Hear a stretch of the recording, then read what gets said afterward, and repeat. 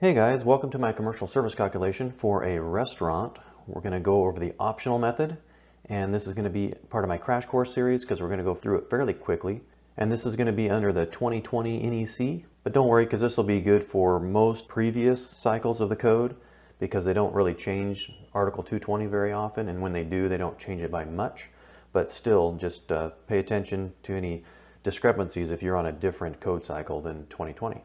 If you find that you need a little bit more depth in understanding this, please visit my deep dive series. I have a commercial calculation deep dive that I go through and I take the time to go through every detail and give you every code reference, every article, every little step to get all your information in that course.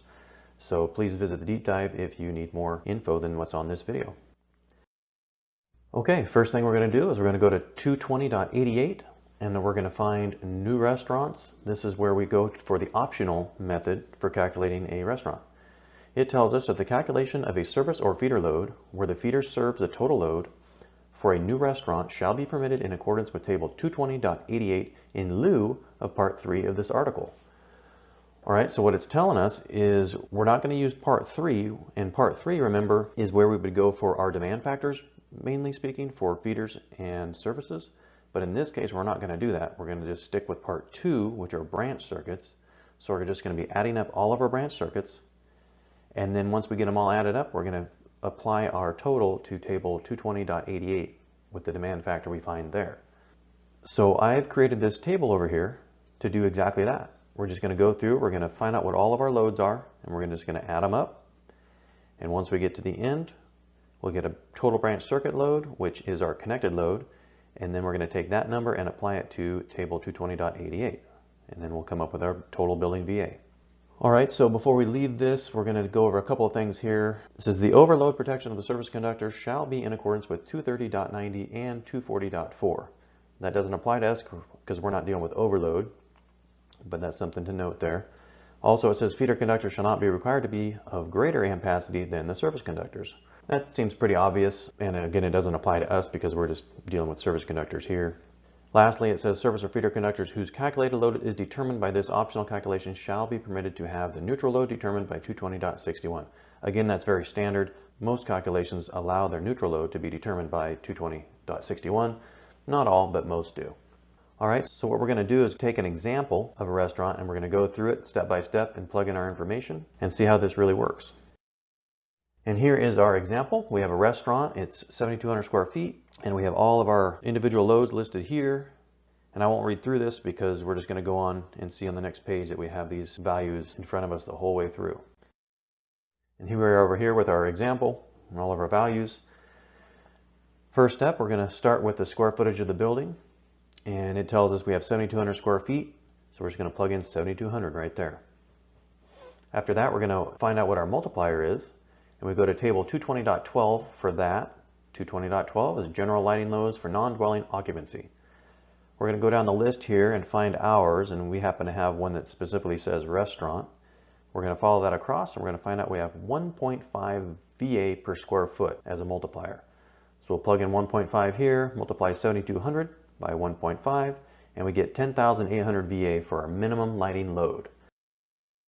Okay, now that we have our minimum lighting load, we can go on to our other loads. And I've broken this up a little bit because some of these loads have some specific requirements for their calculating. And you'll see as we go along how this will make sense. But the first part, we're going to take A, B, D, and E. And these are going to be any specific loads, generally, that just for the most part take their full nameplate value with the exception of the track lighting and ceiling fans, which those will have an extra 25% added because they are continuous loads. Both of those are likely to be running for three hours or longer at a given time. So in this section, particularly under A, it's going to be all specific loads that are not called out in F through L. Now F through L have specific requirements and stipulations, so we're going to treat those individually in just a minute. Okay, first of all, let's go over our track lighting. We've got 2400 watts of track lighting, so we have 2400 watts times 125% is 3000. We have six 144 watt ceiling fans, so again, times 125% is 1080. Then we have three exhaust fans. We have an air conditioning unit, hood fan, two hand dryers, and then we have all our kitchen equipment. We have a bunch of equipment here. We're just going to add it all up. Take nameplates of everything, add it all up. We get 67,430 VA. And that'll be the last that we have in our example for this section.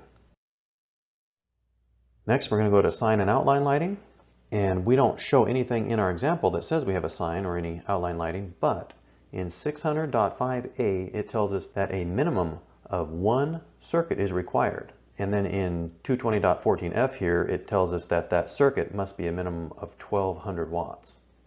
Times 125%, that gives us 1500 VA. Now remember that this requirement, this minimum of one requirement is per door of access to the building by the public for customers or whatnot. If you have two doors of public access, then you have two circuits required. So just remember that. All right, so next we go to show window lighting. We have 70 feet of show window. So we take 70 feet times 200 VA per linear foot. That gives us 14,000 VA times 125% because it's continuous, 17,500 VA. Okay, now we add all these numbers here that I have in bold, add them all together. We get 123,810 VA. We're going to slide that subtotal right up here to the top of this column and then we're going to continue on with our other loads. We're going to go to H, fixed multi-outlet assemblies. We don't have any in our example. We move on to I, which is receptacle outlets.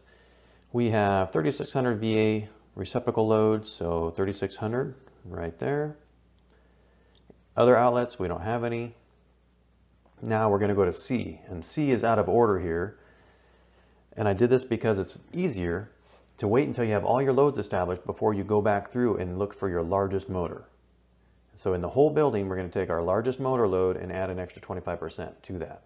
Our largest motor is our air conditioner, 16,000. So we're going to take a quarter of that, 4,000. We're going to put that right there.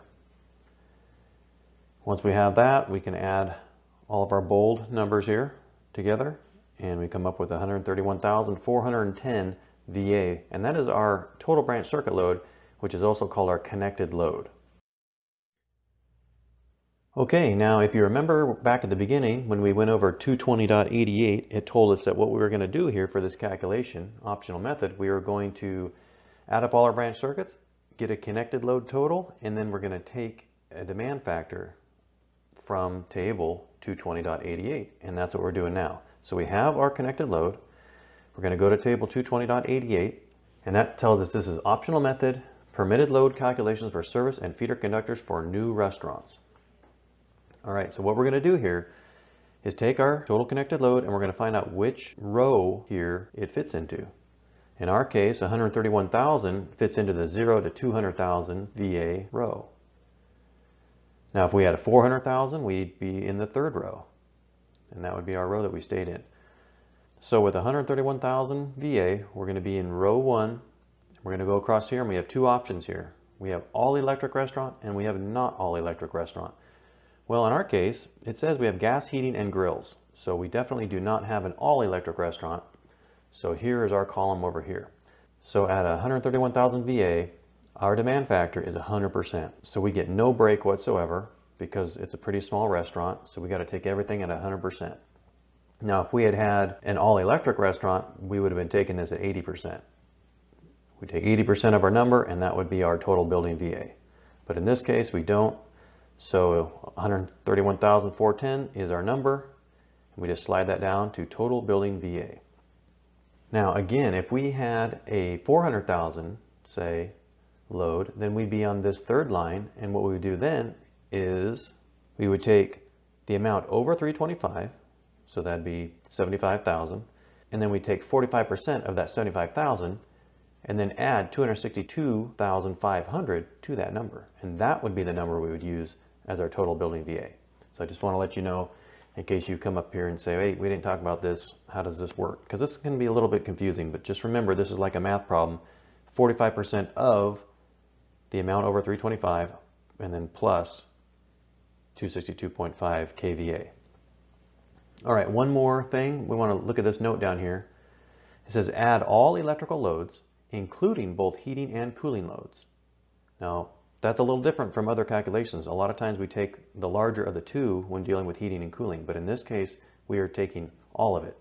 So we're taking all electrical loads, including both heating and cooling loads, to calculate the total connected load. Then select the one demand factor that applies from the table, then multiply the total connected load by this single demand factor. So that tells us right there that we are taking one demand factor that we're selecting here.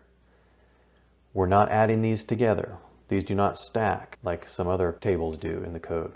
So this is just reassurance that we're doing this the right way. Okay, once you have that number, 131,410, we look over here, we find out that our voltage is 208 volt, three phase. So we divide 131,410 by the product of 208 times the square root of 3, and that gives us 365 amps, and that is our service total. Okay, and here's one last shot of the whole problem with all the information filled in. And then here what I've done is given you a non-colorized template, an empty worksheet, so you can take a screenshot of this, you can print it out, use it as a practice guide, as a, an actual worksheet for a job, or maybe as a study guide. Whatever you want to do with it, it's yours. Well, thanks for watching, guys. If you thought this was helpful to you, please give me a like and also subscribe to my channel. That'll help push this out to more people that may be looking for some help as well. You can also find a lot of other videos I've got posted on my channel. And let me know what else you might like to see a video of, and I'll see if I can make that happen. All right, well, you guys don't forget, stay free.